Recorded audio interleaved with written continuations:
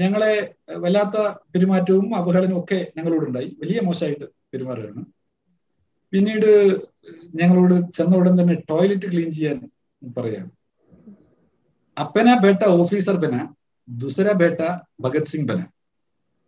സഹാക്കൾ പലപ്പോഴും തമാശ പറയും പറയാറുണ്ട്.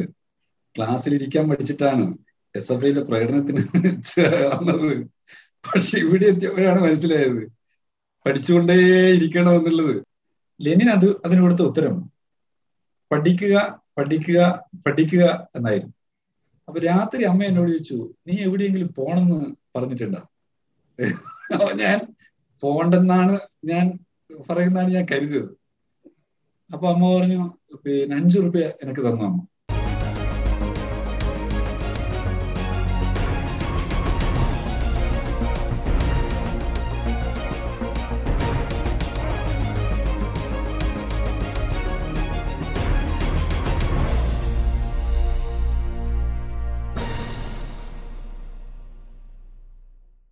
എസ് എഫ് ഐയിലൂടെ രാഷ്ട്രീയത്തിലേക്ക് ഇപ്പോൾ രാജ്യസഭാ എം പി നമുക്ക് ഏവർക്കും പ്രിയപ്പെട്ട സഖാവ് വി ശിവദാസൻ ഇന്ന് നമ്മളോടൊപ്പം ഉണ്ട്. നമുക്ക് ചോദിക്കാം അദ്ദേഹത്തിന്റെ ഭാവി രാഷ്ട്രീയം ആനുകാലിക സംഭവങ്ങളെ കുറിച്ചുള്ള അഭിപ്രായങ്ങൾ. സ്വാഗതം. നമ്മളുടെ സോഷ്യൽ മീഡിയയിലൊക്കെ എപ്പോഴും കാണുന്ന ഒരു കാര്യമാണ് പഠിക്കുക പോരാടുക എന്ന എസ് എഫ് ഐയുടെ എല്ലാ മുദ്രാവാക്യം എവിടെ കണ്ടാലും അതിന് താഴെ ആരെങ്കിലും ഒരാൾ സഖാവ് വി ശിവദാസൻ എന്ന് മെൻഷൻ ചെയ്ത് കാണാറുണ്ട്. അപ്പൊ എങ്ങനെയാണത് അങ്ങയുടെ പേരിനോട് ചേർന്ന് വന്നത്? എങ്ങനെയാണെന്ന് എനിക്കറിയാം. പോരാട്ടവും പഠനവും റാങ്കും അടിയും സമരവും എല്ലാം ഒന്നിച്ചു കൊണ്ടുപോയത് കൊണ്ടാണ്. അപ്പൊ ഈ പഠിക്കുക പോരാടുക എന്നതിനെ കുറിച്ച് എന്താ പറയാനുള്ളത്? പൊതുപ്രവർത്തനം നടത്തുന്ന ഏതൊരാളുടെയും ഏറ്റവും പ്രധാനപ്പെട്ട ചുമതലയാണല്ലോ പഠിക്കുക എന്നുള്ളത്. പഠനം വിവിധ രീതിയിലുണ്ട്. അക്കാഡമിക് പഠനവും അതിന്റെ ഭാഗമായിട്ടുള്ളതാണ്. പൊതു സംഘടനാ പ്രവർത്തനത്തിന്റെ ഭാഗമായിട്ടും ഞാൻ ഉൾപ്പെടെയുള്ളവർ പഠിക്കുന്നുണ്ട്. വിദ്യാർത്ഥി സംഘടനാ പ്രവർത്തനമാകുമ്പോൾ പഠനം പോരാട്ടം ഏറ്റവും തീക്ഷണമായ നിലയിൽ അനുഭവിക്കാൻ കഴിയും. മഹാനായ ലെനിനോട് ഒരിക്കൽ മോസ്കോയിലെ വിദ്യാർത്ഥികൾ ചോദിക്കുകയുണ്ടായി എന്താണ് ഒരു വിദ്യാർത്ഥിയുടെ കടമ? എന്നായിരുന്നു ചോദ്യം. ലെനിൻ അത് അതിന് കൊടുത്ത ഉത്തരം പഠിക്കുക പഠിക്കുക പഠിക്കുക എന്നായിരുന്നു. വീണ്ടും ചോദ്യം ആവർത്തിച്ചപ്പോൾ പഠിക്കുക പഠിക്കുക പഠിക്കുക എന്ന് തന്നെ ലെനിൻ ആവർത്തിക്കുകയുണ്ടായി.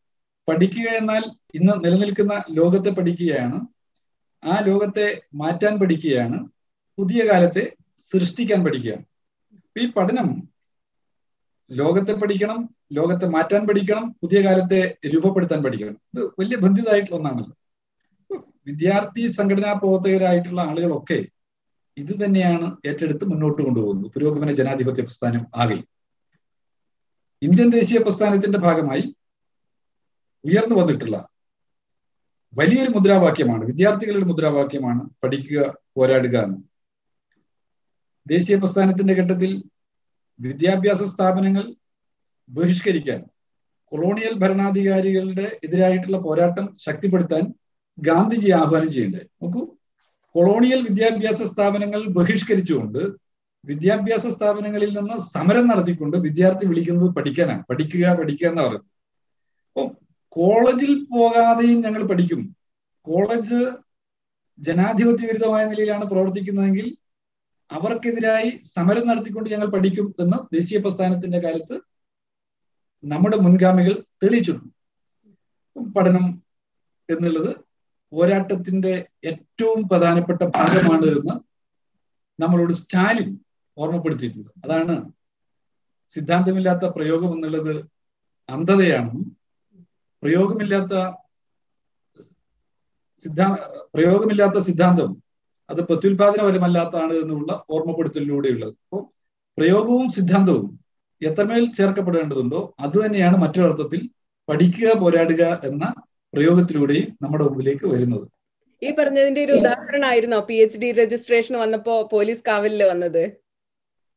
യഥാർത്ഥത്തിൽ എന്റെ ഞാൻ അത്ര പഠിക്കാൻ മിടുക്കനായ ഒരാളൊന്നും ആയിരുന്നില്ല. പിന്നെ ഇങ്ങനെ റാങ്ക് കിട്ടിയത് ബി എ ഹിസ്റ്ററി അത് ഞാൻ തന്നെ എനിക്കാണ് തോന്നുന്നത്. ആ റാങ്ക് കിട്ടിയത് ശരിയായ നിലയിൽ പറഞ്ഞാൽ ബ്രണ്ണൻ കോളേജിൽ അഡ്മിഷൻ കിട്ടണമെങ്കിൽ നന്നായി പഠിക്കണം. കാരണം റാങ്ക് കിട്ടുന്ന ആളുകൾക്ക് മാത്രമേ കണ്ണൂർ യൂണിവേഴ്സിറ്റിയിൽ അവിടെ അഡ്മിഷൻ കിട്ടാറുള്ളൂ. എന്നെ സംബന്ധിച്ചിടത്തോളം വേറൊരു കോളേജിൽ പോയി എനിക്ക് ചേരാൻ പറ്റുമായിരുന്നില്ല. രണ്ട് എസ് എഫ് ഐയിൽ പ്രവർത്തിക്കണം എന്നുള്ളത് എന്റെ അത് എസ് എഫ് ഐ എന്നുള്ളത് എന്റെ ജീവിതം ഒന്നും വേർപെടുത്തപ്പെടാനാവാത്ത ഒന്നാണ്. അത് ഓരോ ഘട്ടത്തിലും. ഇപ്പൊ റാങ്ക് എന്ന് പറയുന്നത് ഞാൻ നോക്കിക്കാണുന്നത് പുസ്തകം കരണ്ട് നിന്ന് ഏതൊരാൾക്കും വാങ്ങാൻ പറ്റുന്ന ഒന്നായിട്ടാണ് ഞാൻ അതിനെ നോക്കിക്കാണുന്നത്. അതൊരു വലിയ ഒരു സംഭവമായിട്ട് ഞാൻ കാണുന്നില്ല. പക്ഷെ എല്ലായ്പ്പോഴും പുസ്തകം കരണ്ട് പിന്നെ ആയിരുന്നില്ലല്ലോ. റോഡുകൾ പക്ഷെ പലപ്പോഴും എന്നാ എല്ലാവരെയും ഞാൻ അങ്ങനെ പറയുന്നില്ലെങ്കിലും അങ്ങനെയും നേടാമെന്നാണ് ഞാൻ ചിന്തിക്കുന്നത്. റാങ്ക് കിട്ടിയപ്പോ രണ്ട് പിന്നെ എനിക്ക് ഇപ്പൊ അത് പങ്കുവെക്കുമ്പോ റാങ്കിനെ കുറിച്ച് പങ്കുവെക്കുമ്പോ ഏറ്റവും സ്നേഹോഷ്മളമായി എന്നോട് വെച്ചാൽ എന്റെ റാങ്കിൽ എന്നെക്കാൾ സന്തോഷിച്ചിട്ടുള്ളത് എന്റെ സഹപ്രവർത്തകരാണെന്ന് എനിക്ക് തോന്നിയിട്ടുണ്ട്. വലിയ സന്തോഷം അവർക്ക് ആകെയുണ്ട്. കാരണം അവർക്ക് പറയാൻ ഒരു ഒരു പേരെന്തോ ആവട്ടെ. വലിയ സ്വീകരണങ്ങൾ എനിക്ക് പക്ഷേ അർഹതപ്പെട്ടതിനേക്കാൾ സ്വീകരണങ്ങളും പരിപാടികളും ഒക്കെ എനിക്ക് തരികയുണ്ട്. കോളേജിലും മറ്റുമൊക്കെ. അതിൽ പലയിടത്തു നിന്നും രസകരമായ പല അനുഭവങ്ങളുണ്ട്. അതിൽ എനിക്ക് ഏറ്റവും നല്ല അനുഭവമായിട്ട് തോന്നിയത് എസ് എഫ് ഐയുടെ എടക്കാട് ഏരിയ കമ്മിറ്റി എനിക്ക് ഒരു സ്വീകരണം തരുന്നുണ്ടായിരുന്നു അന്ന് എസ് എഫ് ഐയുടെ ഭാര ജില്ലാ ഭാരവാഹികൾ പിന്നീട് വന്നിട്ട് ഭാരവാഹിയായി പിന്നീട് വന്നിട്ടുള്ള ആർ കെ വിജേഷായിരുന്നു അന്ന് എസ് എഫ് ഐയുടെ ഏരിയ സെക്രട്ടറി. അങ്ങനെ വലിയ പരിപാടിയായിരുന്നു. ശിവദാസനാണ് സ്വീകരണം. അപ്പൊ അതിലേക്ക് കുറെ കുട്ടികൾ മറ്റ് S S L C plus two ഉന്നത വിജയം നേടിയിട്ടുള്ള കുട്ടികൾ കലാകാരന്മാരായിട്ടുള്ള കുട്ടികൾ അവരെയൊക്കെ ക്ഷണിച്ചിട്ടുണ്ട്. അങ്ങനെ അവർക്കൊക്കെ അവിടെ അനുമോദനത്തിൽ ചെറിയ ചെറിയ സമ്മാനങ്ങൾ ട്രോഫികളും മറ്റുമൊക്കെ ആയിട്ട് കൊടുക്കുന്നുണ്ട്. എനിക്ക് ഒരു വലിയ ട്രോഫിയാണ് തന്നത് ഞാൻ തന്നെ അവർക്ക് നേരെയുള്ള ട്രോഫി. അപ്പൊ അത് പരിപാടി കഴിഞ്ഞു. അപ്പൊ ആർ കെ വിജേഷ് എന്നോട് പറഞ്ഞു ഇത് അപ്പുറത്തെ വായനശാലയിൽ നിന്ന് എടുത്തിയാണ് ഇപ്പൊ തിരിച്ചു തരണം? വേഗം തിരിച്ചു കൊണ്ടുവെക്കേണ്ടതാണ്. എന്ന് പറയണ്ടായി ഞാൻ എനിക്കത് മറക്കാനാവാത്ത ഒരു അനുഭവം എന്ന് പറയുമ്പോഴും അവർക്ക് എന്നിലുള്ള ഒരു സ്നേഹവും അവരുടെ എന്നാൽ സംഘടിപ്പിക്കണമെന്ന ആഗ്രഹവും എന്നാൽ സാമ്പത്തിക പ്രയാസങ്ങളും. അത് രണ്ടും ഏറ്റവും വലിയ ട്രോഫി അതല്ലേ?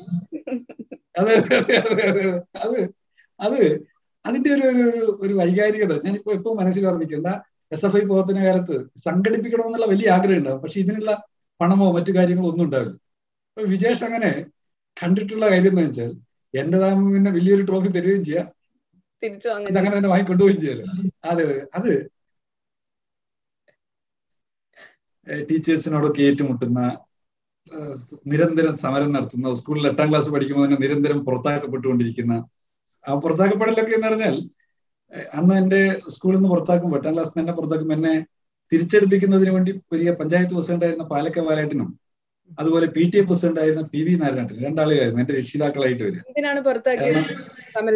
സമരം വിദ്യാർത്ഥി സമരം വേറെന്തിന്? അപ്പൊ അന്ന് ജബ്ബാർ മാഷ് പുറത്താക്കുമ്പോൾ അന്ന് എച്ച് എമ്മിന്റെ പേര് ജബ്ബാർ മാഷാണ്. ജബ്ബാർ മാഷ് എന്നോട് ഭയങ്കര സ്നേഹമൊക്കെ ഉള്ള ആളായിട്ട് എനിക്ക് തോന്നാറുണ്ട്. പക്ഷേങ്കിലും എന്നെ സ്കൂളിൽ നിന്ന് പുറത്താക്കാറുണ്ട്. ജബ്ബാർ മാഷും നാരായണ മാഷും ഒക്കെ പലപ്പോഴും നീ സമരം ചെയ്യാനായിട്ട് ഇങ്ങോട്ട് വരുന്നതെന്നാണ് പലപ്പോഴും പറയാം പക്ഷെ അങ്ങനെ എട്ട് ഒമ്പത് ക്ലാസ്സുകളിൽ മുദ്രാവാക്യം വിളിച്ച് പ്രകടനം നടത്തിയാലും സമരം നടത്തിയാൽ അല്ലെ ശിക്ഷ ഒന്നാണ് പുറത്താക്കൽ അല്ലെ സസ്പെൻഷൻ പുറത്ത് ഇറക്കി നിർത്തലൊക്കെ ആയിട്ടുള്ള ഒരു കാര്യം ഉണ്ടായിരുന്നു പലപ്പോഴും അതിൽ വിദ്യാർത്ഥി ഐക്യമായിരുന്നു ഞങ്ങൾ എപ്പോഴും ഉണ്ടാക്കിയിട്ടുള്ളത്. കുട്ടികളെ എല്ലാവരുടെ ഐക്യം. എന്ത് വിഷയമാണെങ്കിലും കുട്ടികളുടെ ഐക്യം ഉണ്ടാക്കിക്കൊണ്ട് സമരം നടത്തുന്ന അനുഭവമൊക്കെ ഉണ്ടായിരുന്നു. പക്ഷെ ഞാൻ പത്താം ക്ലാസ് പാസ്സാവുമെന്ന് ഞാൻ കരുതിയിരുന്നില്ല യഥാർത്ഥത്തിൽ. ഞാൻ അമ്മയോട് പറയുന്നുണ്ട് അമ്മേ തോറ്റാലും എന്നെ പഠിപ്പിക്കണം എന്ന് ഞാൻ അമ്മയോട് വെച്ചൊരു ഒരു റിക്വസ്റ്റ് എന്തായാലും മുദ്രാവാക്യങ്ങൾ ഓർമ്മയുണ്ടോ? എട്ടിലെ ഒമ്പതിലെ മുദ്രാവാക്യങ്ങൾ ഓർമ്മയുണ്ടോ? പിന്നെ പിന്നെ പിന്നെ അതിൽ അതിൽ ഒന്ന് വിളനില സമരം ഉണ്ടായിരുന്നു പിന്നെ വിദ്യാർത്ഥികൾ വിദ്യാർത്ഥി വേട്ടക്കെതിരായിട്ടുള്ള സമരം ഉണ്ടായിരുന്നു അങ്ങനെ പലതും ഉണ്ടായിരുന്നു. അതിൽ ഞങ്ങൾ അന്ന് ക്ലാസ് മുറിയിൽ പോയി കുട്ടികളോട് പ്രസംഗിക്കുന്ന അതിനുവേണ്ടി നോട്ട് തയ്യാറാക്കുമായിരുന്നു. ഓരോ ദിവസവും പ്രസംഗിക്കേണ്ടുന്ന നോട്ടുകൾ തയ്യാറാക്കിയിട്ടാണ് സ്കൂളിലേക്ക്. അപ്പോൾ വൈകുന്നേരങ്ങളിൽ ഞങ്ങൾ ഒന്നിച്ചിരുന്നിട്ട് നാളെ പ്രസംഗിക്കേണ്ടുന്ന കാര്യങ്ങൾ എന്തൊക്കെയാണെന്നൊക്കെ കുറിച്ചു വെക്കാറൊക്കെ ഉണ്ടായിരുന്നു. അന്ന് എട്ടിലാണോ? എട്ടാം ക്ലാസ് ഒമ്പതാം ക്ലാസ് പത്തും ഒക്കെ ഞങ്ങൾ ക്ലാസ് പ്രസംഗിക്കാറുണ്ടായിരുന്നു എല്ലാവരും. അത് കെ എസ് സിക്കാരും ഉണ്ടായിരുന്നു എസ് എഫ് ഐയും രണ്ടും മത്സരിച്ച് ഓരോ ക്ലാസ് ഇങ്ങനെ ഇടവേള കിട്ടുമ്പോൾ പോയി പ്രസംഗിക്കുന്ന പതിവൊക്കെ സ്കൂളിൽ നിന്ന് ഉണ്ടായിരുന്നു. ഞങ്ങളുടെ ഞങ്ങളുടെ പാലാ ഗവൺമെന്റ് സ്കൂളിനകത്ത് നിന്ന് ഉണ്ടായിരുന്ന ചിലതാണ് ഞാൻ ഓർമ്മ. അത് കഴിഞ്ഞ് പത്താം ക്ലാസ് കഴിഞ്ഞ് പ്രീ ഡിഗ്രി ഡിഗ്രി മട്ടന്നൂർ കോളേജിലാണ് ഞാൻ പഠിക്കുന്നത്. അവിടങ്ങളിലും വിദ്യാർത്ഥി സമരത്തിന്റെ ഭാഗമായിട്ടുള്ള തന്നെയാണ് എന്റെ പ്രവർത്തനം. അതിൽ ഞാൻ ബാലസംഘം എന്ന് പറഞ്ഞ സംഘടനയുടെ കൂടി ഭാഗമായി പ്രവർത്തിക്കുന്ന ആളായിരുന്നു. അപ്പോൾ ആ വിദ്യാർത്ഥി സംഘടനാ പ്രവർത്തനത്തിന്റെ ഭാഗമായി നിൽക്കുന്നപ്പോൾ പഠിക്കേണ്ടത് വളരെ അത്യാവശ്യമാണ്. വിദ്യാർത്ഥി പ്രസ്ഥാനത്തിൽ നിൽക്കുക എന്നുള്ളത് പഠനത്തെ മാറ്റിക്കൊണ്ടല്ല എന്ന് എന്റെ സംഘടനയിൽ തന്നെ സഹപ്രവർത്തകന്മാരും എന്നെ നിരവധി തവണ ഓർമ്മപ്പെടുത്തിയതിന്റെ ഭാഗമായിട്ട് കൂടിയാണ് എനിക്ക് അങ്ങനെ പഠിക്കാൻ സാധിച്ചിട്ടുള്ളത്. ഈ ബ്രണ്ണൻ കോളേജിന്റെ പ്രത്യേകത എന്താണ്? എന്തുകൊണ്ടാണ് ബ്രണ്ണൻ കോളേജിൽ പിന്നെ എം എ പഠിക്കണം? ആ വേറെ ഒരുപാട് കോളേജുകൾ ഉണ്ടല്ലോ. എന്തുകൊണ്ടാണ് ബ്രണ്ണൻ കോളേജിൽ തന്നെ പഠിക്കണം? അത് ബ്രണ്ണൻ കോളേജ് എന്ന് പറയുന്നത് അന്ന് തന്നെ പല പ്രധാനപ്പെട്ട ആളുകളും പഠിച്ചിട്ടുള്ള ഒരു കോളേജും. പിന്നെ ഒരു വൈകാരികമായിട്ട് ആ കോളേജിനോട് പണ്ട് മുതലേ കേട്ടിട്ടുള്ള ആ പേരിനോട് ഉൾപ്പെടെയുള്ള ഒരു ഒരു ഒരു ആഭിമുഖ്യം ഉണ്ടായിരുന്നു. അവിടെ പഠിപ്പിച്ചിട്ടുള്ള അധ്യാപകന്മാരെ കുറിച്ചുള്ള അറിവുകൾ. എന്നുവെച്ചാൽ കണ്ണൂർ ജില്ലയിലെ ഏറ്റവും പ്രധാനപ്പെട്ട കോളേജ് ബ്രണ്ണനാണ്. നൂറ്റാണ്ടിന്റെ പാരമ്പര്യവും വിദ്യാർത്ഥി സമരത്തിന്റെ പ്രോജ്വലമായിട്ടുള്ള കഥകളും ഒക്കെ ചേർന്ന് കിടക്കുന്ന ഒരു കോളേജാണ് അത് എന്നുള്ളത് കൊണ്ട് അവിടെ പി ജി ചെയ്യണം എന്നുള്ള ഒരു ആഗ്രഹം മനസ്സിൽ ഉണ്ടായിരുന്നു. അതിന്റെ ഭാഗമായിട്ടാണ് അവിടത്തേക്ക് അവിടെ ചേരുന്ന നിലയുണ്ടായത്. പിന്നെ ജെ എൻ യുലല്ലേ പോസ്റ്റ് ഡോക്ടറൽ ഇല്ല ഞാൻ ഞാൻ P H D Kannur university നിന്നാണ് ഞാൻ ചെയ്യുന്നത്. അത് കഴിഞ്ഞ എസ് എഫ് ഐയുടെ അഖിലേന്ത്യാ ഭാരവാഹിയാകുമ്പോഴാണ് ഞാൻ പി ഡി എഫ് അവിടെ ജെ എൻ യു റിസർച്ച് ചെയ്യുന്നത്. അത് പി എച്ച് ഡിയുടെ സമയത്താണ് നിങ്ങൾ നേരത്തെ ചോദിച്ചിട്ടുള്ള സമരത്തിന്റെ അനുഭവം ഉണ്ടാവുന്നത്. പോലീസ് കാവലിൽ ഞാൻ പോകുന്ന നിലയുണ്ടായിരുന്നു. അത് വിദ്യാർത്ഥി സമര വിദ്യാർത്ഥി സമരത്തിന്റെ ഭാഗമായി ജയിലിൽ അടക്കപ്പെട്ടതാണ്. കണ്ണൂർ സെൻട്രൽ ജയിലിലായിരുന്നു അന്നുണ്ടായിരുന്നത്. ആ സമയത്ത് സമരത്ത് കണ്ണൂരിലെ വിദ്യാർത്ഥി സംഘടനാ രംഗം തിളച്ചു മറിയുന്ന സമരത്തിന്റെ ഒരു കേന്ദ്രമായിരുന്നു. അതിൽ പങ്കെടുത്തിരുന്ന നിരവധിയായിട്ടുള്ള പ്രവർത്തകന്മാർക്ക് ക്രൂരമായിട്ടുള്ള ലാത്തിചാർജിന്റെ ഭാഗമായിട്ട് കൈ പൊട്ടിപ്പോയവർ കാൽ പൊട്ടി ആശുപത്രി കിടക്കേണ്ടുന്നവർ അവരെയൊന്നും പേരുകൾ ഇവിടെ പരാമർശിച്ചു കഴിഞ്ഞാൽ നീണ്ട നിരയുണ്ട് അപ്പോൾ ആ സമരത്തിന്റെ ഭാഗമായിട്ടാണ് ഞാൻ ജയിലിൽ കിടക്കുന്നത്. അപ്പോൾ ഇങ്ങനെയൊക്കെ പറയുമ്പോഴും ഞാൻ ആകെ പറഞ്ഞു വരുന്ന കാര്യം ഇത്രയേ ഉള്ളൂ. എന്നെക്കാൾ പഠിക്കാൻ മിടുക്കരായിരുന്ന ഒരുപാട് ആളുകൾ എനിക്ക് സംഘടനാ രംഗത്ത് ഇപ്പോഴും ഓർമ്മയുണ്ട്. എന്റെ മട്ടന്നൂർ കോളേജിൽ എന്നോടൊപ്പം യൂണിയൻ ഭാരവാഹിയായിരുന്ന അജയൻ. പഠിക്കാൻ മിടുക്കനായിരുന്നു. വളരെ നന്നായിട്ട് പഠിക്കുന്ന ആളാണ് പക്ഷെ അജീന് റാങ്ക് കിട്ടിയില്ല. പക്ഷെ അതുകൊണ്ട് അജയൻ എന്നെക്കാൾ മിടുക്കനല്ലാതെ പോയി എന്നുള്ളത് ഞാൻ കണക്ക് കൂട്ടുന്നില്ല കാരണം അതല്ല ഞാൻ പഠിക്കുകയും പോലീസിന്റെ അടികൊള്ളുകയും ഒരുപോലെ ചെയ്തവരെ കുറിച്ചാണ് പറഞ്ഞത്. ഞാനത് തന്നെയാണ് പറഞ്ഞത്. എന്നെക്കാൾ നന്നായി സമരരംഗത്ത് കരുത്തോടുകൂടി നിന്നവർ എന്നെക്കാൾ മികച്ച നിലയിൽ പഠനത്തിന് മുന്നിൽ ഉണ്ടായിരുന്ന ഏറെ ആളുകളെ എനിക്കറിയാം. എന്റെ റാങ്ക് അവരുടെ ആരുടെയെങ്കിലും മാറ്റി കുറക്കുന്നുണ്ടെന്നോ? അവരെന്നെക്കാൾ മുന്നിലാകാതെ പോകുന്നുണ്ടോ എന്നോ ഞാൻ കരുതുന്നില്ല. അതാണ് ഞാൻ പറഞ്ഞത്. അതിന് ഞാൻ അജയന്റെ പേര് പറഞ്ഞല്ലോ. അജയൻ വളരെ ബ്രൈറ്റ് ആയിട്ടുള്ള ഹിസ്റ്ററി തന്നെയായിരുന്നു അജയന്റെ ഈ സബ്ജക്ട് യൂണിവേഴ്സിറ്റി യൂണിയന്റെ ഭാരവാഹിയായിരുന്നു. എന്നെക്കാൾ മുമ്പ് സർവകലാശാല യൂണിയൻ ഭാരവാഹിയായിരുന്നു എസ് എഫ് ഐ ഭാരവാഹിയായിരുന്നു ഒക്കെ ആയിരുന്നു അപ്പൊ അങ്ങനെയുള്ള കുറെ ആളുകൾ അജയനൊക്കെ എനിക്ക് എന്നെ സംബന്ധിച്ചിടത്തോളം സഹപ്രവർത്തകൻ എന്നതിൽ മാതൃകയായിട്ടുള്ള ആളുകളിൽ ഒരാളായിരുന്നു. കുറെ ആളുകൾ. അതുകൊണ്ട് അതാണ് ഇതിനെ കുറിച്ച് എനിക്ക് അപ്പൊ രാഷ്ട്രീയം കളിച്ച് നടന്നാൽ ഭാവി ഒന്നും പാഴാവില്ല രണ്ടെണ്ണാണ് എന്ന് പറഞ്ഞാൽ ഈ ഭാവി എന്ന് പറയുന്നത് എന്താന്നുള്ളൊരു പ്രശ്നമുണ്ട്. കാരണം ഹിന്ദി ഭാഷ സംസാരിക്കുന്ന ആൾ വിശേഷം ഡൽഹി പഞ്ചാബ് മേഖലയിൽ ആളുകൾ പറയുന്ന ഒരു ചൊല്ല് ഞാൻ കേട്ടിട്ടുണ്ട്. അപ്പന ബേട്ട ഓഫീസർ ബന ദുസര ബേട്ട ഭഗത് സിംഗ് ബന. അപ്പുറത്തെ കുട്ടീനെ ആളെ കുട്ടീനെ ഭഗത് സിംഗ് ആക്കുക സ്വന്തം മോനെ ഓഫീസറാക്കുക അത് നമ്മളെ നാട്ടിലുള്ള ഒരു വലിയ വിഭാഗത്തിന്റെ മനസ്സിലിരിപ്പാണ്. അപ്പൊ ഭാവി എന്ന് പറയുന്നത് ഇതുമായി ബന്ധപ്പെട്ടാണ് നാം ചേർത്ത് വെക്കേണ്ടത്. സ്വന്തം മകനെ സമൂഹത്തിനും നാടിനും മനുഷ്യരാശിയുടെ ആകെ നന്മയ്ക്കും വേണ്ടി സംഭാവന ചെയ്യാൻ എത്രമാത്രം ആളുകൾക്ക് കഴിയും? അമ്മ പറയാറുണ്ടായിരുന്നോ? സർക്കാർ ജോലി വാങ്ങണമെന്നോ? അങ്ങനെ എന്തെങ്കിലും? എന്നോട് ഒരിക്കലും അങ്ങനെ അമ്മ പറഞ്ഞതായിട്ട് എന്റെ ഓർമ്മയില്ല. കാരണം എന്റെ അമ്മ അമ്മയെ സംബന്ധിച്ചിടത്തോളം അങ്ങനെ ഒരു വിദ്യാഭ്യാസ പരമായി വലിയ നിലവാരം ആർജിച്ച ആളോ ഒന്നും ആയിരുന്നില്ല. പക്ഷെ എന്റെ അമ്മയ്ക്ക് എന്നിലും എന്റെ നാട്ടിലെ കമ്മ്യൂണിസ്റ്റ് പാർട്ടി പ്രവർത്തകരിൽ ഒരു വിശ്വാസം ഉണ്ടായി എന്റെ മോൻ മോശമാവില്ല എന്റെ മോൻ ഈ കമ്മ്യൂണിസ്റ്റ് പാർട്ടി പ്രവർത്തകരുടെ അവരൊക്കെ നാട്ടിൽ ഒരു സ്നേഹവും നാട്ടിലെ ആളുകളോട് വളരെ നന്നായി ഇടപെടുകയൊക്കെ ചെയ്യുന്ന ആളുകളാണ്. അവരോടൊക്കെയുള്ള ഒരു അടുപ്പവും വിശ്വാസവും എന്റെ അമ്മയ്ക്ക് ഉണ്ടായിരുന്നു ഞാൻ ഓർമ്മിക്കുകയാണ് എന്നെ എസ് എഫ് ഐയുടെ എട്ടാം ക്ലാസ്സിൽ പഠിക്കുമ്പോൾ ക്യാമ്പിന് പോകാൻ എന്റെ അമ്മ എനിക്ക് പൈസ തന്നെ അയക്കുന്നു എങ്ങനെ അയക്കുന്നതെന്ന് ഞാൻ പറയാം. എന്റെ ക്യാമ്പിന് പോകണമെന്നുള്ള ആഗ്രഹം എട്ടിൽ എട്ടാം ക്ലാസ് പഠിക്കും രണ്ട് ദിവസം പണത്തിൽ വീട്ടിൽ നിന്ന് വിടില്ല എന്നുള്ളത് ഞാൻ ആദ്യം ഉറപ്പിച്ചു ഒരു കാരണവശാലും വീട്ടിൽ നിന്ന് വിടില്ല. എന്ത് ചെയ്യും?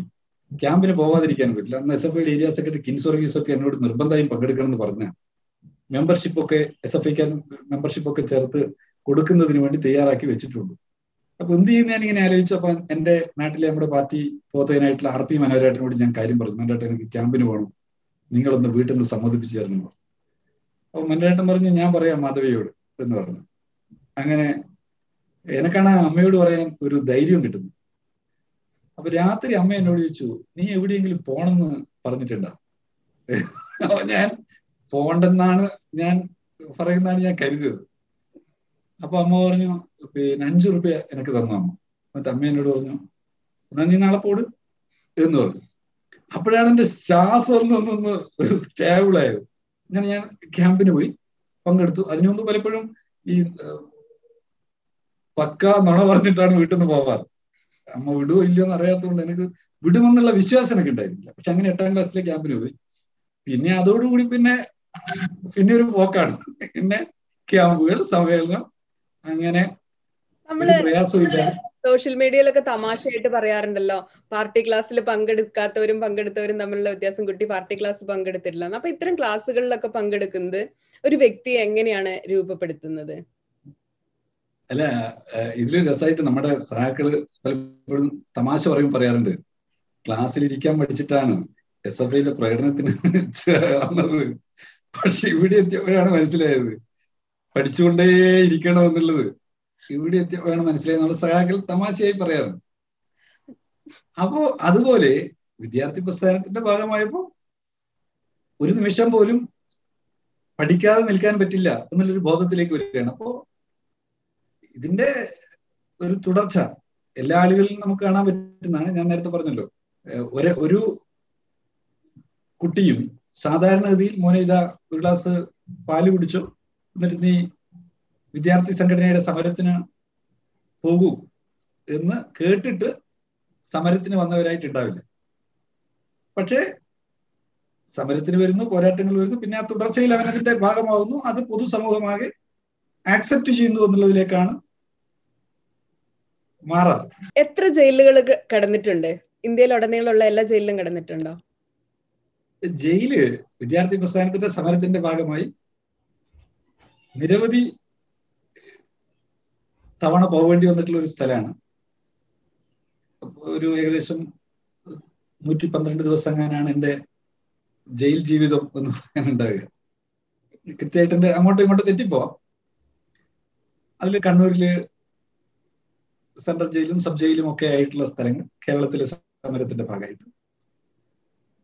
ജയിൽ എന്ന് പറയുന്നത് പലപ്പോഴും പല ആളുകളും പറയാറ് കേട്ടിട്ടുള്ളത് പല നിലയിലെ ക്രൂരകൃത്യങ്ങളൊക്കെ ചെയ്തിട്ടുള്ള ആളുകൾ മാത്രം താമസിക്കുന്ന ഇടം എന്ന നിലയിലാണ് പക്ഷെ ജയിലിൽ സമരത്തിന് നേതൃത്വം കൊടുത്തിട്ട് വന്നിട്ടുള്ളവരുണ്ടാവും. അതുപോലെ മനുഷ്യ സ്നേഹത്തിന്റെ പ്രോജ്വലമായിട്ടുള്ള അടയാളപ്പെടുത്തലുകളാൽ എത്തിച്ചേർന്നിട്ടുള്ള ആളുകൾ ഇന്നലകളിൽ ഉണ്ടായിട്ടുണ്ട്. ഇന്നുള്ള ഒരു സ്ഥലമാണ്.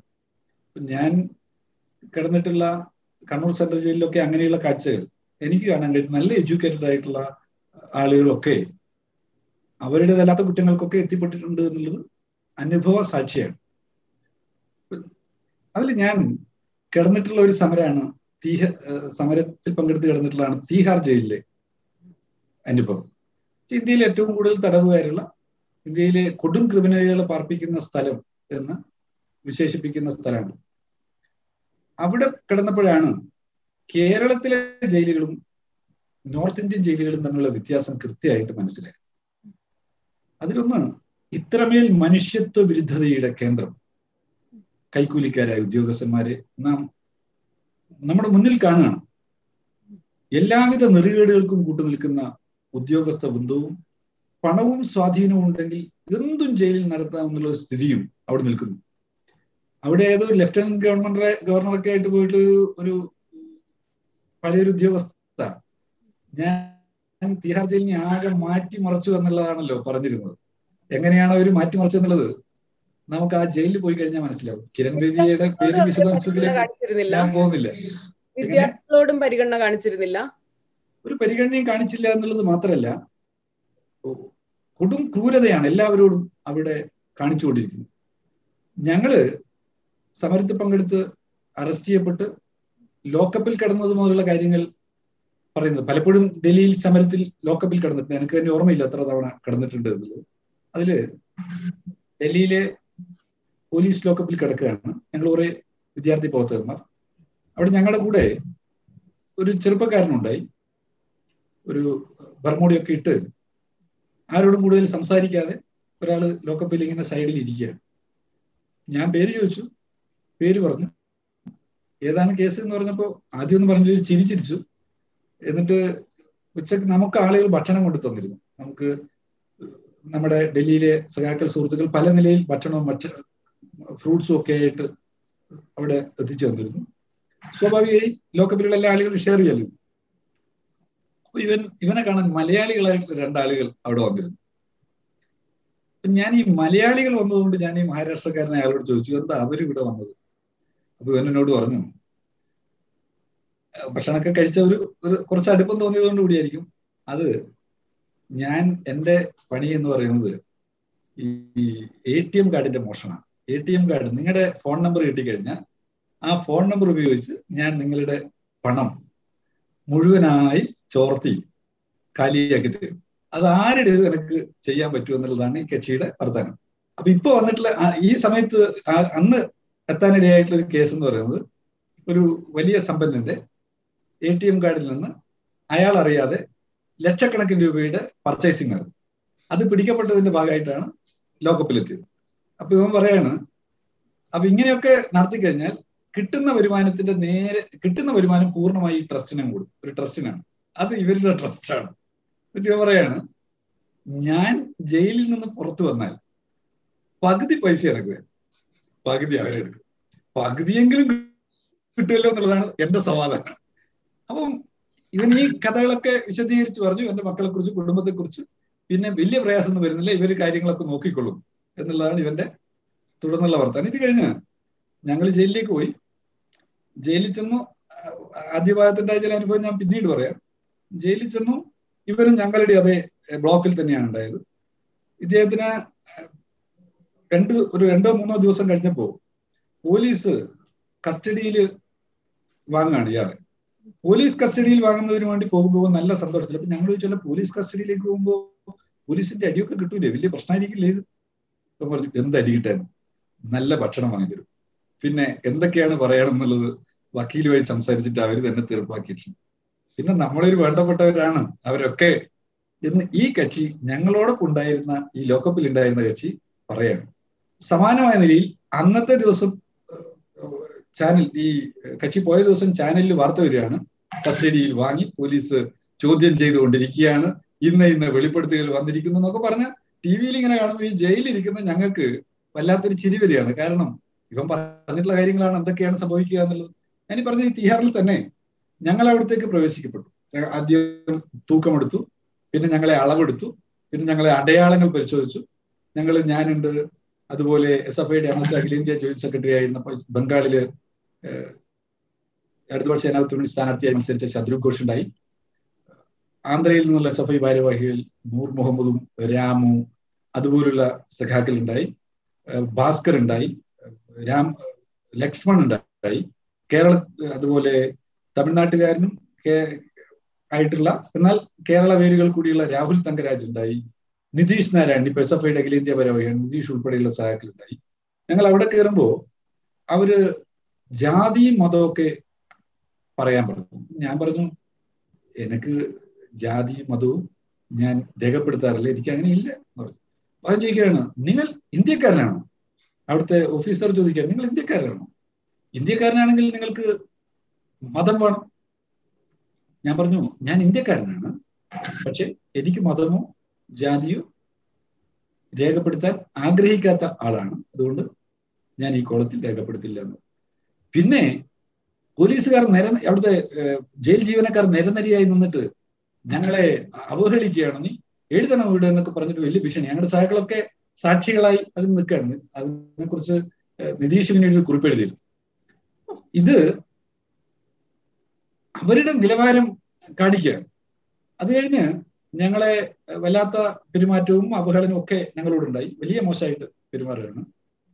പിന്നീട് ഞങ്ങളോട് ചെന്ന ഉടൻ തന്നെ ടോയ്ലറ്റ് ക്ലീൻ ചെയ്യാൻ പറയാം ടോയ്ലറ്റ് ക്ലീൻ ചെയ്യുക എന്നുള്ളത് ഞങ്ങൾക്ക് തെറ്റായ കാര്യമായിട്ട് തോന്നിയിരുന്നില്ല. കാരണം ഉപയോഗിക്കുന്ന ടോയ്ലറ്റുകൾ എവിടെയായാലും അതൊക്കെ നമ്മുടെ സാമൂഹ്യ നിധിയുടെ അല്ലെങ്കിൽ ഒരു ചെയ്യേണ്ടത് നിർബന്ധമായും ചെയ്യേണ്ടുന്ന കാര്യങ്ങളാണ്.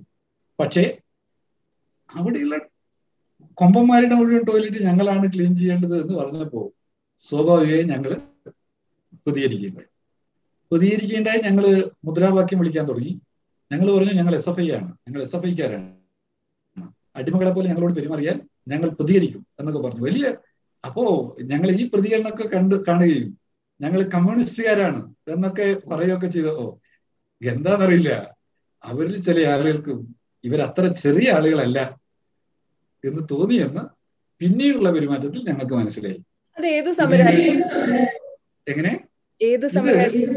പിന്നെ വിദ്യാർത്ഥികളെ കേരളത്തിലെ വിദ്യാർത്ഥി വേട്ടക്കെതിരായിട്ടുള്ള ഡൽഹിയിൽ നടത്തിയിട്ടുള്ള വിദ്യാർത്ഥി സമരമാണ് കേരളത്തിലും രാജ്യത്തിന്റെ വിവിധ ഭാഗങ്ങളിൽ നടക്കുന്ന വിദ്യാർത്ഥി വേട്ടക്കെതിരായിട്ട് ഡൽഹിയിൽ നടത്തിയിട്ടുള്ള വിദ്യാർത്ഥി സമരത്തിന്റെ ഭാഗമായിട്ടായിരുന്നു അപ്പൊ അവിടെ നിന്ന് ഞങ്ങൾ ഞങ്ങളുടെ ബ്ലോക്കിലേക്ക് കൊണ്ടുപോവാണ്. പിന്നെ അവിടുത്തെ ജയിൽ ഉദ്യോഗസ്ഥന്മാരൊക്കെ കുറച്ച് മാന്യമായി ഞങ്ങളോട് പെരുമാറാൻ തുടങ്ങി. നിരന്തരമായിട്ടുള്ള ഞങ്ങളുടെ ചേർത്ത് നിൽപ്പിട്ടുണ്ടായിരുന്നു പിന്നെ അവിടെ കണ്ട ഒരു കാഴ്ച. അവിടെ ജയിലിൽ തടവുകാരാക്കപ്പെട്ട മുഴുവൻ ആളുകളും അവിടെ ഒരു ക്ഷേത്രമുണ്ട്. ക്ഷേത്രം പോലെ കെട്ടിയുണ്ടാക്കിയിട്ട് ഒരു ഒരു ഒരു സംവിധാനം. അവിടെ രാവിലെ പോയി നിർബന്ധമായും പ്രാർത്ഥിക്കണം എന്നുള്ളതാണ് അത് വിശ്വാസിയോ അവിശ്വാസിയോ ഇതര മതസ്ഥനോ എന്തോ ആവട്ടെ ഒരു ദൈവരൂപത്തിന്റെ മുമ്പിൽ. ഞങ്ങൾക്കതിനോട് അത്ര യോജിപ്പുണ്ടായില്ല. ബാക്കി എവിടെ ഉണ്ടായിട്ടുള്ള സംഭവങ്ങളിലേക്ക് ഞാൻ പോകുന്നില്ല. പക്ഷെ ഒരു ജനാധിപത്യ മതനിരപേക്ഷ രാജ്യത്തെ ഒരു മതനിരപേക്ഷമായ നിലയിൽ നിൽക്കേണ്ടുന്ന ഒരു സ്ഥാപനത്തിലാണ് ഇതൊക്കെ നിൽക്കുന്നത് എന്നുള്ളതാണ് നമ്മെ വേദനിപ്പിക്കുന്ന ഒരു കാര്യം.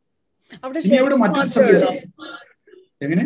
ക്ഷേത്രം മാത്രം മാത്രമേ ക്ഷേത്രമുണ്ട് പൂജാരി ഉണ്ട് അല്ല ഞാൻ പിന്നെ ബാക്കി അതെ ഞാൻ പറഞ്ഞതിന്റെ ഞാൻ പറഞ്ഞത് മനസ്സിലായല്ലോ. എന്ന് പറഞ്ഞാൽ എല്ലാ ഏത് മതവിശ്വാസത്തിന്റെ ഭാഗമായി നിന്നാലും അവരെല്ലാം ഇവിടെ അമ്പലത്തിലാണ് പോണ്ടേ പോകണം എന്നുള്ളതാണ് ആ. ബ്ലോക്കിൽ ഉണ്ടായിരുന്ന തീരുമാനം. അപ്പൊ അത് അതാണ് ഞാൻ പറഞ്ഞത്. ഒരു മതനിരപേക്ഷ രാജ്യത്തിലെ ഒരു സ്ഥാപനത്തിൽ ഞാൻ കണ്ട ഒരു കാഴ്ചയാണ് ഞാൻ നിങ്ങളോട് ഇപ്പോൾ പങ്കുവച്ചത്. പിന്നെയും കാണാൻ കഴിയുണ്ടായി. അവിടെ ഒരു വണ്ടി ഇങ്ങനെ മണിയടിച്ചുകൊണ്ട് ഒരു വണ്ടി വരികയും വണ്ടി വന്നു കഴിഞ്ഞാൽ നിങ്ങൾക്ക് നിങ്ങൾക്ക് അനുവദിക്കപ്പെട്ട ഭക്ഷണ സാധനങ്ങൾ തന്നിട്ട് അങ്ങോട്ട് പോകും. അനുവദിക്കപ്പെട്ടത് എന്ന് പറഞ്ഞാൽ എല്ലാവർക്കും ഒരുപോലെയല്ല അനുവദിക്കപ്പെട്ടിട്ടുണ്ടാകുക അവിടെ ശേഷിയുള്ള ആളുകൾക്ക് കൂടുതലായിട്ട് കൊടുത്തിട്ടുണ്ടാവും. ശേഷിയില്ലാത്ത ആളുകൾക്ക് കുറച്ചും കൊടുത്തിട്ടുണ്ടാകും കാരണം അത് നമ്മൾ പറയല്ലോ തിണ്ണമെടുക്കുക എന്നൊക്കെ പറയല്ലോ. അതുപോലുള്ള ഏർപ്പാടുകളാണ്. ഇനി മറ്റൊരു കാര്യം കൂടി ഉണ്ട്. അവിടെ ഒരു ഈ നമ്മുടെ കിരൺ ബേദിയൊക്കെ മാതൃകാപരമായി ഞാൻ നടപ്പിലാക്കി എന്നൊക്കെ പ്രഖ്യാപിച്ചിട്ടുള്ള ഒന്നാണല്ലോ. ഈ ജയിലിൽ നിന്ന് സാധനങ്ങൾ വാങ്ങുന്ന മറ്റുള്ളവർക്ക് പണം ഇട്ട് കൊടുക്കുന്ന ഒരു സംവിധാനം ഒരു കാർഡ് സിസ്റ്റം ഏർപ്പെടുത്തി. അപ്പൊ കാർഡ് സിസ്റ്റം എങ്ങനെയാന്ന് പറഞ്ഞാൽ നിങ്ങൾക്ക് ഒരു ദിവസം നൂറ് രൂപയുടെ സാധനമാണ് വാങ്ങാൻ പറ്റുക എന്ന് കരുതുക. ആ നൂറ് രൂപ ചെലവഴിക്കാൻ പറ്റുന്നതിൽ നിങ്ങളുടെ അക്കൗണ്ട് കാർഡ് ഉണ്ടാവും. കാർഡിനകത്ത് പണം ഉണ്ടാവും. അത് നിങ്ങൾക്ക് ഉപയോഗിച്ച് വാങ്ങാം. പക്ഷേ ഞാൻ ഒരു സമ്പന്നനാണെങ്കിൽ ഞാൻ അവിടെ ചെയ്യാന്ന് വെച്ചാൽ ഞാനൊരു പത്താളുകളുടെ അക്കൗണ്ടിലേക്ക് പൈസ ഇട്ടിട്ടുണ്ടാവും ആ പത്താളുകൾ എന്ന് പറഞ്ഞാൽ ജീവിതത്തിൽ ഒരിക്കലും നൂറ് രൂപ പോയിട്ട് നൂറ് പൈസ പോലും തന്റെ അക്കൗണ്ടിലേക്ക് വരാൻ സാധ്യതയില്ലാത്ത ആളായിരിക്കും. അവരുടെ അക്കൗണ്ടിലേക്ക് പുറത്തുനിന്ന് ആൾ കാശിടുകയാണ് എന്നിട്ടോ ആ പണം മുഴുവൻ ആര് ഉപയോഗിക്കും? ഞാൻ ഉപയോഗിക്കും. അപ്പൊ അങ്ങനെ വരുമ്പോ എനിക്ക് മട്ടൻ ചിക്കൻ ഇങ്ങനെയുള്ള സകല സാധനങ്ങൾ അവിടെ എത്തുകയും ഒപ്പം ഈ പറയുന്ന ആളുകളുണ്ടല്ലോ മറ്റ് ചിലർ ഞാൻ അക്കൗണ്ടിലേക്കൊക്കെ പണം അവർക്ക് ഒരു ചെറിയൊരു വിഹിതം കൊടുക്കും അവരെന്റെ കാൽ തീരുമാനം അവരവിടെ ഈ പറയുന്ന ഈ വൻകിടക്കാരന്റെ മറ്റ് ദാസ്യവേലകൾ ചെയ്യുന്നതിന് വേണ്ടി വിധിക്കപ്പെട്ട ആളുകളായിട്ടും അവിടെ കാണാൻ കഴിയില്ല ഇങ്ങനെ മനുഷ്യത്വ വിരുദ്ധതയുടെ ഒരു വലിയ അടയാളപ്പെടുത്തലായിട്ടാണ് അവിടെ തിഹാർ ജയിൽ പ്രവർത്തിക്കുന്നത് എന്നുള്ളത് മനസ്സിലാക്കാൻ കഴിയുണ്ടായി അവിടെ നിന്ന് ഏതെങ്കിലും ഒരാൾ ആ ജയിൽ അനുഭവത്തിന്റെ ഭാഗമായി തന്റെ തെറ്റിനെ തെറ്റിനെ കുറിച്ച് ചിന്തിക്കുകയും പ്രായച്ചിത്തം ചെയ്യുന്ന ഒരു ബോധത്തിലേക്ക് മാറ്റപ്പെടുകയും ചെയ്യുമെന്ന് നമ്മൾ ആരെങ്കിലും കരുതിയാൽ അത് ശുദ്ധ അസംബന്ധമായിരിക്കും. ഒരാളും തീഹാർ ജയിൽ പോലെ കേരളത്തിലെ ജയിലുകൾ മാറ്റപ്പെടണം എന്ന് പറയാനോ ആഗ്രഹിക്കാനോ പാടില്ല എന്നുള്ളതാണ് ജയിൽ അനുഭവങ്ങളിൽ നിന്നുകൊണ്ട് എനിക്ക് ഓർമ്മപ്പെടുത്താനുള്ള ഒരു കാര്യം. അത് ഈ ജയിലിലേക്ക് പോകാനിടയായിട്ടുള്ള വിദ്യാർത്ഥി സമരത്തെയും കൂടി കൂട്ടിച്ചേർത്ത് വെക്കാം.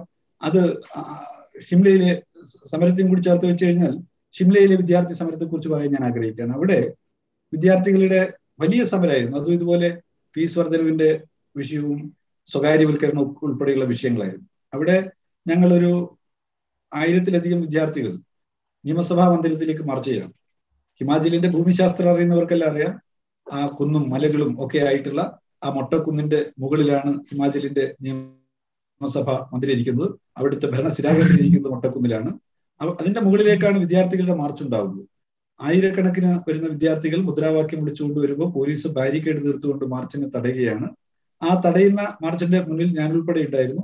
എന്റെ ഉദ്ഘാടന പ്രസംഗം കഴിയുന്ന വേളയിൽ തന്നെ പോലീസിന്റെ ലാത്തി ചാർജ് തുടങ്ങി. എന്റെ ഓർമ്മയിൽ എന്റെ കയ്യിൽ ഒരു വാച്ച് ഉണ്ടായിരുന്നു അന്ന്. വാച്ച് എന്റെ വിവാഹത്തിന് എന്റെ സുഹൃത്ത് സമ്മാനിച്ചതായിരുന്നു. ആ വാച്ച് അടി ആദ്യത്തെ അടിയിൽ തന്നെ വാച്ച് പൊട്ടി ഇറങ്ങി പോകുന്നു ഞാൻ ഓർമ്മിക്കുന്നുണ്ട്. തുടർന്ന് വൻ ലാത്തി ചാർജിലേക്ക് പോവാണ്. പക്ഷേ എന്നെ അത്ഭുതപ്പെടുത്തിയത്. ആ പോലീസിന്റെ അതിക്രൂരമായ ആ ലാത്തി ചാർജിന്റെ വേളയിൽ വിദ്യാർത്ഥി പ്രവർത്തകന്മാർ പിന്തിരിഞ്ഞോടിയില്ല എന്നുള്ളതാണ്. പിന്തിരിഞ്ഞോടിയിരുന്നുവെങ്കിൽ അവർ ആ വലിയ കൊക്കയിലേക്കാണ് ചാടുക.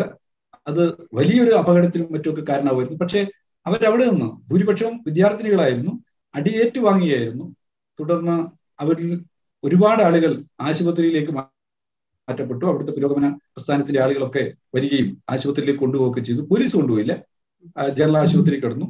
കുറെ ആളുകൾ മറ്റ് സ്ഥലങ്ങളിൽ അവിടെ സ്ഥലമില്ലാത്തതുകൊണ്ട് മറ്റ് സ്വകാര്യ ആശുപത്രിയിലേക്ക് മാറ്റപ്പെടുകയുണ്ടായിരുന്നു. അങ്ങനെ ആശുപത്രിയിൽ കിടക്കുന്ന ആളുകളുടെ അടുത്തു നിന്നാണ് ഞാൻ അവിടെ സി പി ഐ എമ്മിന്റെ സംസ്ഥാന കമ്മിറ്റി ഓഫീസിലേക്ക് പോകുന്നു എന്റെ കൂടെ സുരേഷ് സർവാൾ എന്ന് പറയുന്ന എസ് എഫ് ഐയുടെ അവിടുത്തെ സംസ്ഥാന സെക്രട്ടറി ഉണ്ടായിരുന്നു.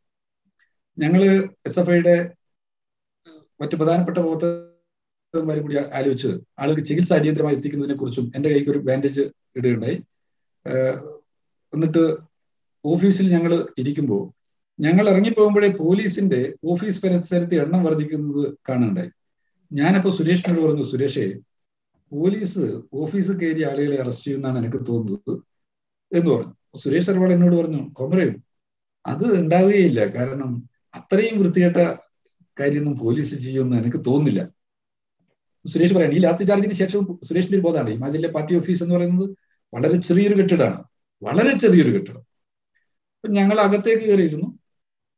അകത്ത് കയറിയിരുന്ന സുരേഷ് ഞാനും കൂടി പറയാം സുരേഷിനോട് ഞാൻ പറയണം എനിക്ക് ഡൽഹിയിലാണെങ്കിൽ തൊട്ടടുത്ത ദിവസം പരിപാടി ഉണ്ട്. എന്താണ് ചെയ്യുക പങ്കെടുക്കാതിരിക്കാനും പറ്റുമായിരുന്നില്ല. ഈ സാഹചര്യത്തിൽ എങ്ങനെയാണ് പോകുക എന്നൊക്കെ ഇങ്ങനെ പറഞ്ഞ് ഇരിക്കുകയാണ്. അപ്പൊ ഞാൻ സുരേഷിനോട് വീണ്ടും പറഞ്ഞു പോലീസ് കയറുന്നതാണ് എനിക്ക് തോന്നുന്നത്. ഒരുപക്ഷെ എന്റെ കേരളത്തിലെയും കണ്ണൂരിലെയും അനുഭവമൊക്കെ വെച്ചായിരിക്കും പോലീസിനെ ഒബ്സർവ് ചെയ്യാൻ പറ്റിയിട്ടാണെന്ന് എനിക്ക് തോന്നുകയാണ്. ഞാനത് പറഞ്ഞു നിൽക്കുമ്പോൾ സുരേഷ് വീണ്ടും പറയുന്നത് ഏ കോമ്രേഡ് അത് സംഭവിക്കുകയില്ല എന്ന് പറയുകയാണ്. പിന്നെ നമ്മൾ കേട്ടത് എന്താന്ന് വെച്ചാൽ വാതിൽ അടിച്ച് പൊളിക്കുന്നതും പോലീസ് അകത്തേക്ക് കയറുന്നതും അവിടെയുള്ള ചെറിയ ടി വി കസേരകൾ എല്ലാം എടുത്തു താർക്കുന്നതും അവിടുത്തെ സി ഐ ടിവിന്റെ പ്രവർത്തകനായിട്ടുള്ള സഖാവ് ഓഫീസ് ചുമതല കൂടിയുള്ള സഖാവ് അദ്ദേഹത്തെ ഒരു പത്ത് അറുപത് വയസ്സ് കഴിഞ്ഞിട്ടുണ്ടാവും. അദ്ദേഹത്തെ എടുത്ത് നിലത്തിട്ട് അടിക്കുന്നത് തുടർന്ന് സുരേഷിന്റെയും എന്റെ അടുത്തേക്ക് വരികയാണ്. സുരേഷിനെ ആദ്യം അടിച്ചു. തുടർന്ന് എന്നെ അടിക്കാൻ നോക്കുകയാണ്. എന്നെ അടിക്കുമ്പോൾ സുരേഷ് പറയാണ് ഞങ്ങളുടെ ദേശീയ പ്രസിഡന്റ് അമാര നാഷണൽ പ്രസിഡന്റ് എന്ന് പറയാണ്. അപ്പോ ആ പോലീസുകാരന്റെ മറുപടിയാണ് ഇവൻ തന്നെയല്ലേ ഇവനെ തന്നെയല്ലേ കിട്ടാനല്ലേ? എന്ന് പറഞ്ഞുകൊണ്ട് പോലീസ് വീണ്ടും എന്നെ അടിക്കുകയാണ്. പിന്നെ ഞങ്ങൾ രണ്ടാളും ഹിമാചലിന്റെ പാർട്ടി ഓഫീസിൽ നിന്ന് മുകളിലോട്ടുള്ള വഴി എന്നുള്ളത് ഒരു എഡ വഴിയാണ്. വാഹനങ്ങളൊന്നും ഇറങ്ങുന്ന വഴിയല്ല. നടന്ന് മാത്രമേ അതിലേക്കൂടി വലിച്ചഴിച്ച് കൊണ്ടുപോവാണ്. പാറക്കെട്ടുകളിലേക്ക് കൂടി കൊണ്ടുപോവാണ്. എന്നിട്ട് വാഹനത്തിലേക്ക് ഡംപ് ഇടുകയാണ്. എന്നിട്ട് ആ വാഹനം നേരെ ലോക്കത്തിലേക്ക് പോവാ കൊണ്ടുപോയി. അവിടെ എത്തുമ്പോൾ കുറെ സഹാക്കൾ കൂടി അവിടെ എത്തിയിട്ടുണ്ട്. അവിടുന്ന് ആ പോലീസ് സ്റ്റേഷന്റെ നടുമധ്യത്തിൽ പോലീസ് സ്റ്റേഷൻ എന്ന് പറയുന്നത് പുറത്തുള്ള ആളുകൾ ഉള്ളിലത്തെ കാര്യങ്ങൾ കാണില്ല. പോലീസ് സ്റ്റേഷൻ ചുറ്റും ഒരു കെട്ടിടമാണ് അതിന്റെ നടുക്ക് ഞങ്ങളുടെ ഓരോ ആളുകളെയായിട്ട് ആ ഒരു റൂമിൽ നിന്ന് വിളിച്ചു കൊണ്ടുവന്ന് ആളുകളുടെ മുമ്പിൽ പരസ്യമായിട്ട് അടിക്കുകയാണ്.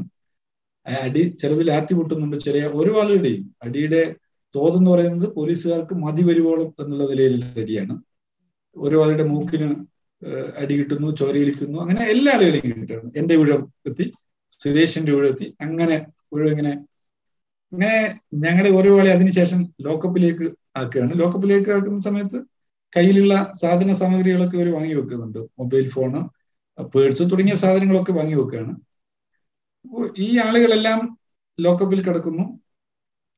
അതിനിടയിൽ അവിടെ ഒരാളുടെ മൊബൈൽ ഇറങ്ങിയാണ്. അത് സ്വാഭാവിക വിദ്യാർത്ഥി സംഘടനാ പ്രവർത്തകരുടെ ഒരു കഴിവ് കൂടിയാവാം. ചിലപ്പോൾ മറന്നു കൊണ്ടാവും എന്തായാലും അതിൽ ഒരാളുടെ പോക്കറ്റിലെ മൊബൈലാണ് റിങ് ചെയ്തത് മൊബൈൽ റിങ് ചെയ്തു അവൻ ആരും കേൾക്കാതെ പെട്ടെന്ന് ഫോൺ എടുത്തു. വിളിച്ചത് അവന്റെ അമ്മയായിരുന്നു അച്ഛനായിരുന്നു. അച്ഛൻ അവനോട് ചോദിച്ചു ബേട്ട കഹാബെ മോനെ എവിടെയാണ്? എന്ന് ചോദിച്ചു. അപ്പൊ പറഞ്ഞു പപ്പ അഭി സംഗീത ക്ലാസ് കെ അന്തർ ഹേ പപ്പ എന്ന് പറഞ്ഞു. അച്ഛ ഞാൻ സംഗീതത്തിന്റെ ക്ലാസ്സിലാണ് എന്ന് പറഞ്ഞു. തുടർന്ന് അവർ തമ്മിലുള്ള സംഭാഷണങ്ങൾ നടക്കുകയാണ്. ഇത് കേൾക്കുമ്പോൾ ഞങ്ങളൊക്കെ ചിരി അടക്കി പിടിച്ചുകൊണ്ട് ഇവന്റെ അടുത്ത് തന്നെ ഇരിക്കുകയാണ്. അവരെന്തൊക്കെയോ ഇങ്ങനെ അവൻ ഇടയ്ക്ക് ലൗഡ് സ്പീക്കറിൽ ഇടുന്നുണ്ട്. ഒരു തമാശ കണക്ക്. ഈ സമയത്ത് അവന്റെ കൈ പൊട്ടിക്കിടക്കുകയാണ്. മൂക്കിലൂടെ ചോര വരുന്നുണ്ട്. അവന്റെ പല്ല് തകരാറ് സംഭവിച്ചിട്ടുണ്ടായിരുന്നു. അങ്ങനെ വല്ലാത്തൊരു വേദനിപ്പിക്കുന്ന ഒരു ഘട്ടത്തിലാണ് ആ വിദ്യാർത്ഥി സംഘടനാ പ്രവർത്തകന്റെ മൊബൈലിലേക്ക് അച്ഛന്റെ കോൾ വരുന്നു. അച്ഛനുമായിട്ടുള്ള സംഭാഷണം ചിരിച്ചുകൊണ്ടാണ് അവൻ പൂർത്തിയാക്കുന്നത്. എന്നിട്ട് അച്ഛൻ പറയാണ് അമ്മയ്ക്ക് ഫോൺ കൊടുക്കാം എന്ന് പറയാണ്. അമ്മ ഫോൺ വാങ്ങിയപ്പോ ആദ്യം തന്നെ ഇവനോട് പറയുന്നത് മോനെ ബേട്ട അജ് സംഗീത് ക്ലാസ് നെയ്യ ബേട്ട.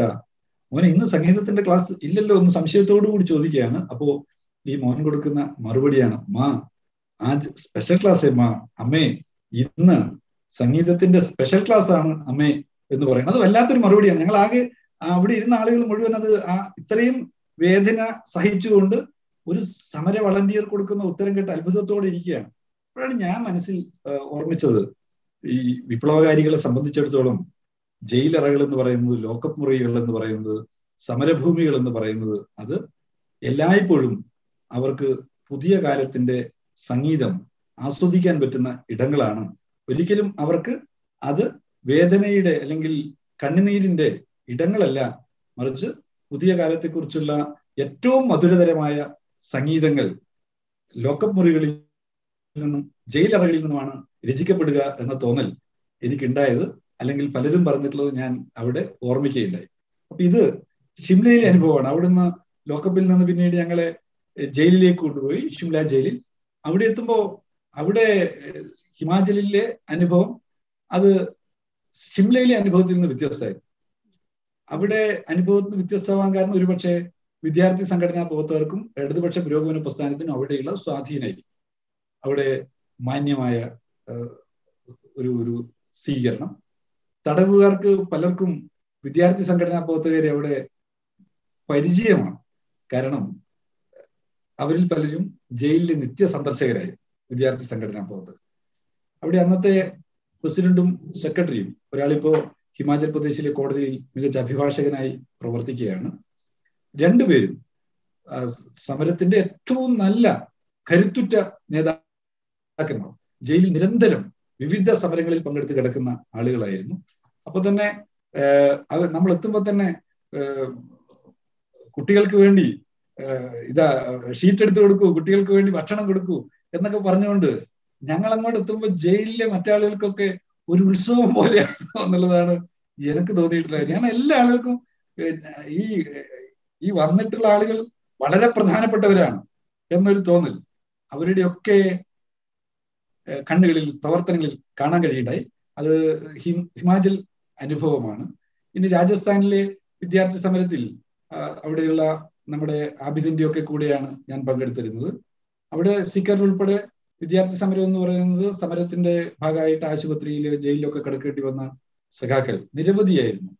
ഞങ്ങളുടെ എസ് എഫ് ഐയുടെ അന്നത്തെ സിക്കറിൽ നടത്തിയിട്ടുള്ള അഖിലേന്ത്യാ സമ്മേളനത്തിന് മുമ്പായിട്ട് അവിടെ വിദ്യാർത്ഥി വേട്ടയുടെ ഒരു കാലം കൂടിയായിരുന്നു. അന്ന് ഞാൻ ഇവിടെ ഓർമ്മപ്പെടുത്താൻ ആഗ്രഹിക്കുന്ന ഒരു സമരം എന്നുള്ളത് അവിടെ ഗ്രാമത്തിൽ കർഷകർക്ക് വെള്ളം കിട്ടുന്നില്ല എന്ന മുദ്രാവാക്യവുമായിട്ട് അവിടെ വിദ്യാർത്ഥികൾ നടത്തിയിട്ടുള്ള യുവാക്കളോടൊപ്പം ചേർന്ന് നടത്തിയിട്ടുള്ള സമരമാണ്. അത് ഒരു പ്രത്യേകതയുണ്ടല്ലോ. കർഷകർക്ക് ഗ്രാമങ്ങളിൽ അവർക്ക് കൃഷി ആവശ്യത്തിനും മറ്റു കാര്യങ്ങൾക്കുമായി വെള്ളം കൊടുക്കണം എന്നുള്ളതായിരുന്നു വിദ്യാർത്ഥികളുടെ മുദ്രാവാക്യം. കാരണം തങ്ങളുടെ അച്ഛനമ്മമാർ അനുഭവിക്കുന്ന പ്രയാസങ്ങൾ തിരിച്ചറിഞ്ഞുകൊണ്ട് മക്കൾ നടത്തിയ ഒരു സമരം എന്ന നിലയിൽ കൂടി വേണമെങ്കിൽ അതിനെ വായിക്കാം. അതിൽ ആഭ്യന്തര കൂടെ ഞാൻ പങ്കെടുക്കുകയുണ്ടായി. അതിൽ ഇത് സമാനമായ നിലയിൽ തന്നെ പോലീസ് അറസ്റ്റ് ചെയ്യും കൊണ്ടുപോവുകയൊക്കെ ചെയ്ത ഘട്ടങ്ങളിൽ അവിടെയും കാണാൻ കഴിഞ്ഞിട്ടുള്ള ഒരു കാര്യം എന്ന് പറഞ്ഞാൽ അവിടുത്തെ സമര സംഘടനയുടെ സ്വാധീനവും ജനങ്ങളുടെ സ്വീകാര്യതയും പോലീസിനുൾപ്പെടെ ഞങ്ങളോട് മാന്യമായ നിലയിൽ പെരുമാറാൻ നിർബന്ധിക്കുന്ന ഒരു ഘടകമായിരുന്നു. മറ്റൊന്ന് പോലീസുകാരന്റെ വീട്ടിലേക്ക് കൂടി വെള്ളം കിട്ടുന്നതിന് വേണ്ടി ആവാം. ഒരുപക്ഷെ ഞങ്ങളുടെ സമരം എന്നുള്ളത് കൊണ്ടായിരിക്കാം സ്റ്റേഷനിൽ എത്തിയ ഉടൻ തന്നെ അവർ ഞങ്ങൾക്ക് വെള്ളം തരികയും മറ്റുമൊക്കെ ചെയ്തതെന്നാണ് ഞാൻ ഓർമ്മിക്കുന്ന മറ്റൊരു കാര്യം. കാരണം ഈ പോലീസുകാരും സാധാരണക്കാരായ മനുഷ്യരാണല്ലോ. അവർ ഭരണകൂടത്തിന്റെ ഉപകരണമാണ് പോലീസ് സേന എന്ന് പറയുമ്പോഴും വെടിവെക്കാൻ പറയുന്നവന്റെ നെഞ്ചു നോക്കി വെടിവെക്കുന്ന ഒരു പോലീസ് സേന സോവിയറ്റ് റഷ്യയിൽ വിപ്ലവ ഘട്ടത്തിൽ രൂപപ്പെട്ടിരുന്നു എന്നുള്ളത് ചരിത്രത്തിന്റെ ഒരു യാഥാർത്ഥ്യമാണല്ലോ. അപ്പൊ യജമാനായി ഭരണകൂടത്തിന്റെ എപ്പോഴും അവരോട് വിധേയത്വം കാണിച്ചിരുന്ന ആളുകൾ ഉൾപ്പെടെ തങ്ങളുടെ വർഗമേതെന്ന് തിരിച്ചറിയുകയും അവരോട് സഹാനുഭൂതിയോടുകൂടി ഇട ഇടകുകയും ചെയ്യുന്ന ചരിത്രഘട്ടം. ഇന്ത്യയിലും സമാഗതമാകുമെന്നുള്ള ഓർമ്മപ്പെടുത്തലാവാം. ഒരുപക്ഷെ ആ ലോക്കപ്പിലേക്ക് എത്തുമ്പോൾ സ്നേഹത്തോടുകൂടി വെള്ളം തന്നിട്ടുള്ള ആ പോലീസുകാരന്റെ മുഖവും സംസാരവും അടയാളപ്പെടുത്തിയിട്ടുണ്ടാവുക എന്നാണ് ഞാൻ കരുതുന്നത്. കൂടെ സമരം ചെയ്തവരൊക്കെ പിന്നീട് രാഷ്ട്രീയത്തിലൊക്കെ തന്നെ ഇപ്പോഴും തുടരുകയാണോ? അതോ പഠിത്തമൊക്കെ കഴിഞ്ഞ് അവർ വേറെ വഴിക്കൊക്കെ പോയോ?